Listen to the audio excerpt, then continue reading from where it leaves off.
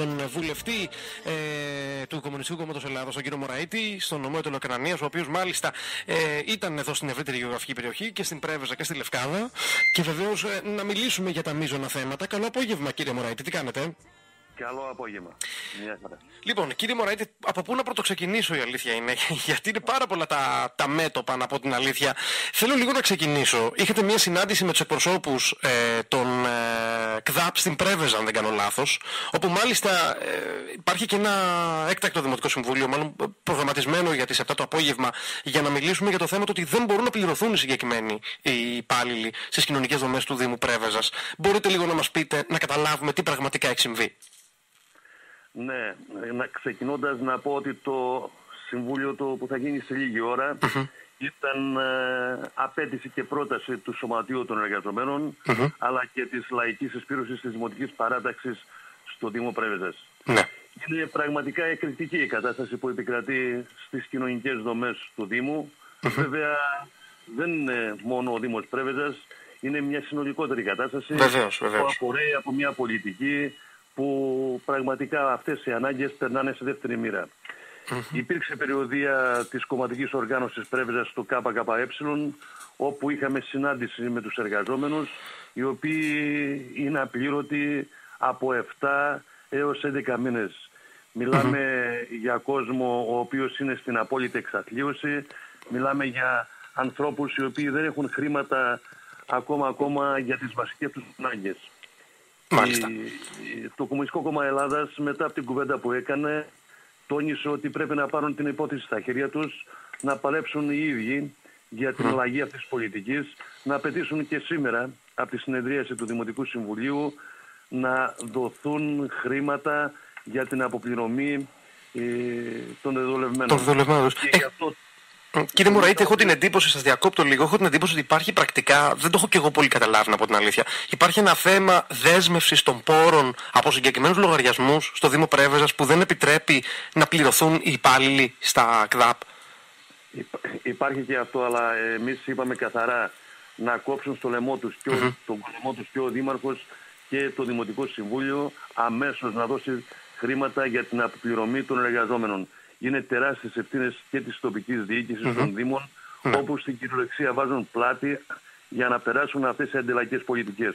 Και εδώ αποδεικνύεται πόσο επίκαιρη και πόσο αναγκαία είναι η πρόταση του Κομμουνιστικού Κόμματος Ελλάδας που λέει ότι όλες αυτές οι δομές πρέπει να περάσουν στην ευθύνη του κράτους, να υπάρχει κρατική επιχορήγηση, σταθερός κρατικός προπολογισμός Ναι. ε, που να μπορούν πραγματικά αυτές οι δομές να υπηρετούν τις λαϊκές ανάγκες.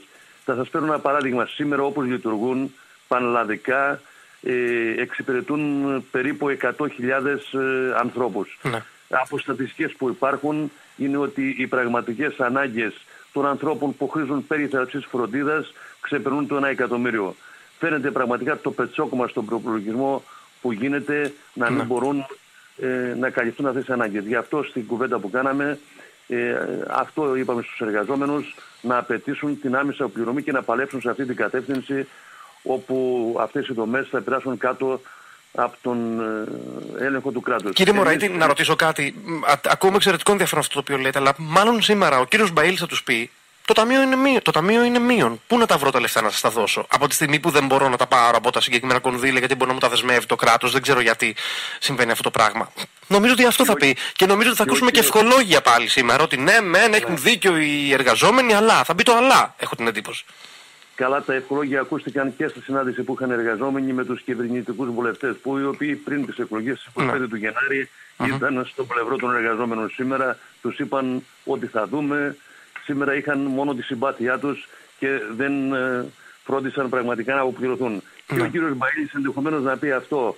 Αλλά και ο κύριος Μπαΐλης και η κυβέρνηση βρίσκουν, βρίσκουν χρήματα για να κάνουν αποπληρωμές είτε στους δανειστές είτε άλλα χρήματα που έδωσε όπως μάθαμε εκεί ο κύριος Μπαλής πριν λίγες μέρες περίπου στις 100.000 ευρώ ε, σε κάποια χρέη που υπήρχαν από μεριά στο Δήμο.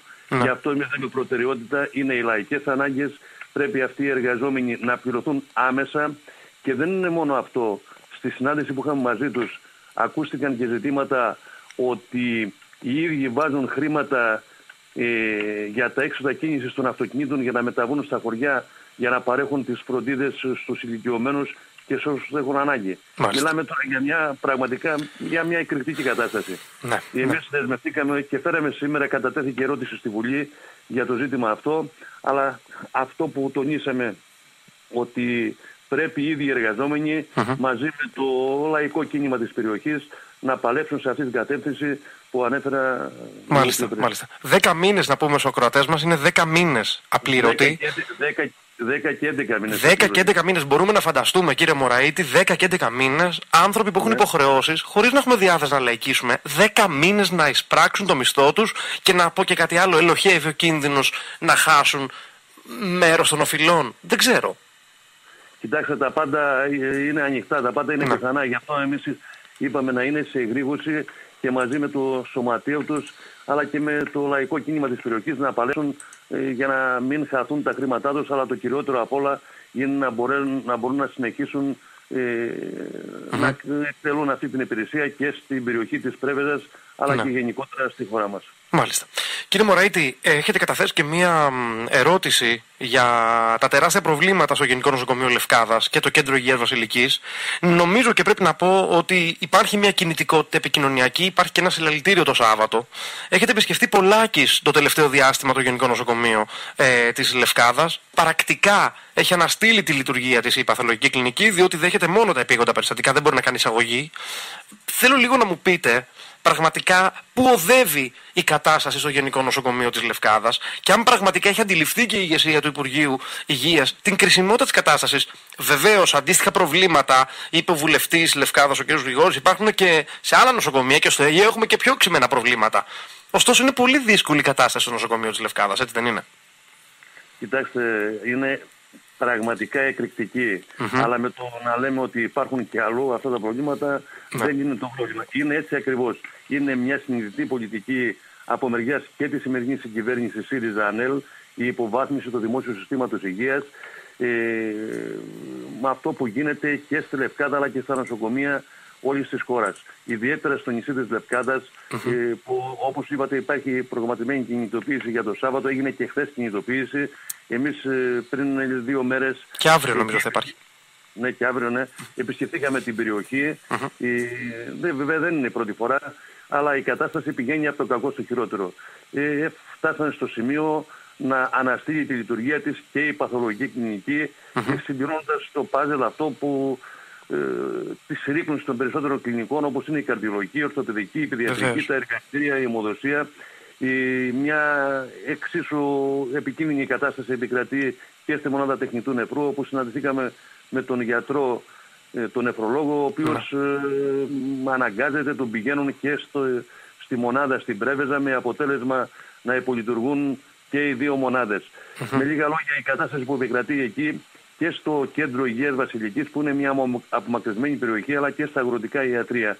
Ε, θεωρούμε ότι το πετσόκομα που γίνεται στους προπολογισμούς των νοσοκομείων και όλα αυτά εντάσσονται όπως είπα σε αυτή την πολιτική υποβάθμιση το ό,τι έχει απομείνει από το δημόσιο σύστημα υγείας. Ενημερωθήκατε ε, βεβαίως για την πρόταση της διοίκησης να μην εφημερεύει το κέντρο υγείας Βασιλικής για να μπορούν να ενισχύουν κάποιοι γιατροί το Γενικό Νοσοκομείο. Το οποίο θεωρώ ότι είναι από την πίσω πόρτα το να σταματήσει να εφημερεύει το κέντρο υγεία Βασιλικής, ε, μετράμε αντίστροφα και για την τουριστική περίοδο και νομίζω ότι κάποια στιγμή πρέπει να φτάσουμε σε σημείο απόλυτης εξαθλίωσης για να μπορούμε de facto να δεχτούμε μία λύση. Ε, κύριε Μωρέτη, έτσι αντιλαμβάνομαι εγώ το πρόβλημα. Ότι φτάνουμε στην απόλυτη εξαθλίωση, όπου κάποια στιγμή είναι μονόδρομος η λύση αυτή. Ή κλείνουμε ή δέχεστε αυτό το οποίο εισηγείται η δίκηση. Μάλιστα, η Νομαρχιακή Επιτροπή του ΣΥΡΙΖΑ έκανε εχμηρή κριτική στον διοικητή σήμερα ε, του νοσοκομείου της Λευκάδα, καλώντας τον μάλιστα να παρατηθεί. Κοιτάξτε, η παρέντηση του, του, του διοικητή του νοσοκομείου δεν είναι το πρόβλημα. Ναι. Πέρα από τις τεράστιε ευθύνες που έχει ο διοικητής, το να φτάνει σήμερα η Νομαρχιακή Επιτροπή του ΣΥΡΙΖΑ να μιλάει για παρέντηση αντί να μιλάει για ουσιαστικές λύσεις, νομίζουμε ότι αυτό πρέπει να γίνει να το καταλάβουν οι ίδιοι οι εργαζόμενοι, τα ίδια τα λαϊκά στρώματα της ναι. περιοχής της Λευκάδας. Πρέπει να πω όμως ότι είναι μια πάγια τακτική που δεν συμβαίνει μόνο στη Λευκάδα, συμβαίνει σε όλη τη χώρα, ότι ξεγυμνώνονται στην κυριολεξία τα κέντρα υγείας, παίρνουν γιατρούς ειδικότητες από τα κέντρα υγείας και κάνουν μπαλώματα στα νοσοκομεία. Ναι. Αυτή είναι μια πολιτική η οποία ε, διαλύει το, ό,τι έχει απομείνει από το δημόσιο σύστημα υγείας.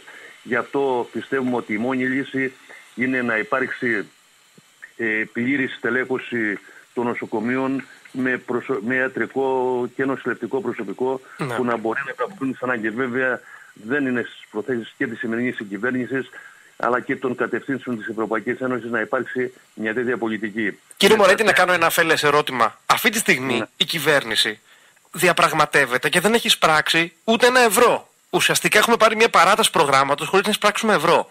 Βλέπετε πάρα πολύ καλά ότι αγωνιωδώς αναζητά χρήματα και δεν έχει να δώσει. Ουσιαστικά εσωτερικά έχουμε πτωχεύσει. Εύλογα λοιπόν τώρα εγώ αναρωτιέμαι σαν μέσο πολίτης, πού να βρει τα χρήματα αυτή τη στιγμή η ηγεσία του Υπουργείου να κάνει προσλήψεις και να στελεχώσει; Κοιτάξτε, και η σημερινή συγκυβέρνηση συνεχίζει τον ίδιο δρόμο των δεσμεύσεων απέναντι, όπως ανέφερα, στην Ευρωπαϊκή ναι. Ένωση και στα μονοπόλια που θέλουν να μετατραπεί η υγεία σε εμπόρευμα, τα νοσοκομεία σε επιχειρήσεις. Είναι σε αυτή την κατεύθυνση. Mm-hmm. Εμείς ε, πιστεύουμε ότι ε, κάτω από αυτή την πολιτική δεν μπορούν να υπάρξουν λύσεις που να υπηρετούν τις λαϊκές ανάγκες. Ναι. Βέβαια, χρήματα μπορεί να βρεθούν. Υπάρχουν χρήματα στις φοροαπαλλαγές του μεγάλου κεφαλαίου, mm-hmm. στις φοροαπαλλαγές των εφοπλιστών. Υπάρχουν χρήματα. Εξάλλου, το κυριότερο απ' όλα είναι ότι σήμερα καλείται ο λαός μας να πληρώσει ένα δυσβάστατο χρέος το οποίο δεν το δημιούργησε ο ίδιος. Γι' αυτό είναι και επίκαιρη και η θέση του Κομμουνιστικού Κόμματος Ελλάδας που λέμε για μονομερή διαγραφή του χρέους. Γιατί αυτό το χρέος ε, το, έκανε, το έκανε η κυκλοφορία του μεγάλου κεφαλαίου, δεν το έκαναν ε, οι εργαζομενοι γιατί είτε με ανάπτυξη είτε σήμερα με την κατάσταση που επικρατεί οι εργαζόμενοι ήταν στη γωνία ε, και εξάλλου οι όποιες διαπραγματεύσεις κάνει σήμερα η κυβέρνηση, τα όποια χρήματα θα πάρει δυστυχώς δεν θα δοθούν για τις λαϊκές ανάγκες, δεν θα δοθούν για την αύξηση των μισθών, ναι. δεν θα δοθούν για να επαντορθούν τα νοσοκομεία.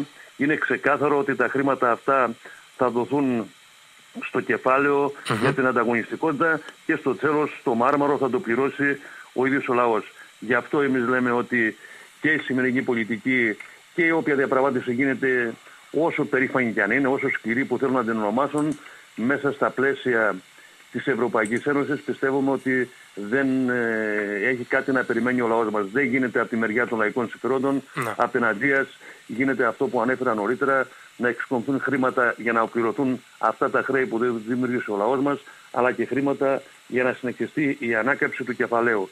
Και ορισμένοι θα μας πούν ότι, ξέρετε, θα καταπολεμηθεί η ανεργία και όλα αυτά. Ε, κύριε Κονιάκη, σήμερα, παρά τις εξαγγελίες της συγκυβέρνησης ότι θα υπάρξουν αλλαγές και στον ε, ε, εργασιακό ζήτημα. Εδώ έχουμε και στην περιοχή μας και στην περιοχή της Πρέβεζας και της Λευκάδα και της Ολοκαρανιά, αλλά και συνολικότερα της χώρας, μια εργασιακή ζούγκλα. Ναι. Η απλήρωτη εργασία παίρνει μορφή χιονοστιβάδας. Δεν όπως αν ξεκινήσαμε την κουβέντα μας, οι απλήρωτοι εργαζόμενοι ναι. μόνο στις κοινωνικές δομές του Δήμου Πρέβεζας. Δίπλα μας ακριβώς υπάρχουν τέσσερα εργοτάξια στον κατασκευαστικό τομέα όπου έχουν κλείσει, υπάρχουν απλήρωτοι εργαζόμενοι, υπάρχουν ε, άλλοι οι οποίοι δουλεύουν σήμερα στις ανασκαφές και στην Νικόπολη της Πρέβεζας και στην mm. Δηλαδή με λίγα λόγια επικρατεί μια εργασιακή ζούγκλα. Και όλα αυτά που λέει και η σημερινή κυβέρνηση ότι ε, θα, πάρει, θα πάρουν σαν εργαζόμενοι, αυτό στην πραγματικότητα δεν ισχύει. Γι' αυτό εμείς θεωρούμε ότι ε, και η σημερινή συγκυβέρνηση ακολουθεί την ίδια πολιτική, μια πολιτική που σκορπάει τη φτώχεια, την ανεργία, την εξαθλίωση των εργαζόμενων. Τι να πούμε, να πούμε για τους αγρότες και εδώ στην περιοχή μας που πραγματικά βρίσκονται σε πάρα πολύ δύσκολη κατάσταση και χρήματα των αγροτών πήγαν ε, στην Τράπεζα Ελλάδας για να αποπληρωθούν ε, ε τα χρέη αυτά τα οποία δεν δημιούργησαν οι αγρότες. Υπάρχει μια συνολικότερη πολιτική που ο λαός μας μπορεί να βγάλει συμπεράσματα. Έχει αρκετή πείρα, ζει στο πετσί του καθημερινά αυτή τη βάρβαρη πολιτική. Αντιλαμβάνομαι. Και εμείς θεωρούμε ότι ο μόνος δρόμος που απομένει και για τους εργαζόμενους και για τους αγρότες αλλά και για όλα τα πλατιά λαϊκά στρώματα είναι η συγκρότηση αυτής της πλατιάς λαϊκής συμμαχίας η οποία θα βάλει στόχο την ανατροπή αυτής της πολιτικης και όχι το μακιγιάρισμα ε, μιας πολιτικής η οποία ε, οδηγεί στην ίδια κατάσταση που βιώνουν χρόνια τώρα ε, τα λαϊκά στρώματα. Αντιλαμβάνομαι. Κύριε Μωραήτη, κλείνοντας ε, την πολύ ενδιαφέρουσα συζήτηση, νομίζω και ενημέρωση των ακροατών μας, θέλω λίγο και ένα σχόλιο για τον οδικό άξονα Αμβρακή Ακτίου. Όπου έχει μιλήσει και ο πρόεδρος των εργαζομένων, όπου και εκεί υπάρχει ένας εμπεγμός, ε, υπάρχει μια καθυστέρηση του έργου, υπάρχει, δεν πληρώνονται οι εργαζόμενοι.